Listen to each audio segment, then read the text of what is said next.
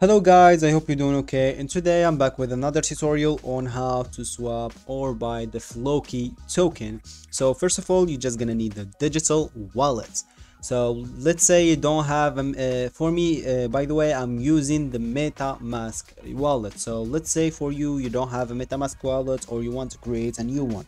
All you need to do is just go down below in our channel and you'll find out how to create a MetaMask account. So if you have one, let's just follow my instructions. You'll just come here to CoinMarketCap, then go here to search, then type Floki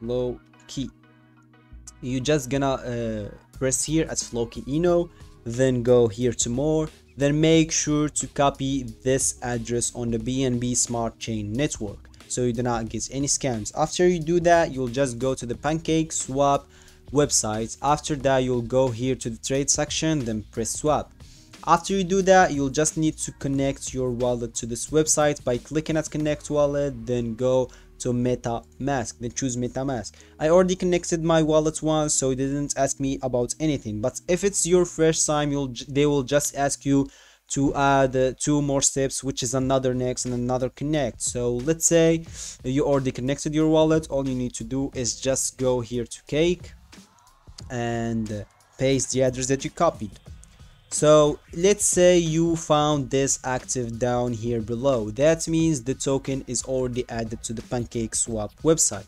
So you're just gonna press here X, then go to Cake again. After that, you just uh, type here Floki. So uh, make sure to find the the right uh, the, the, right uh, uh, token so if you found a lot of tokens like that you will just need to paste the address again.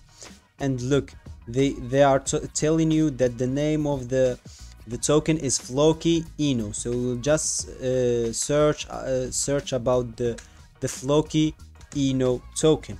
I'm just gonna type here Floki Inu so make sure to, to, to choose this one the second one so you do not get any scams uh, tokens. So after that you'll just enter the amount of BNB that you want to swap into Floki. So let's say for example I just want to swap 0.5 BNB uh, into Floki token.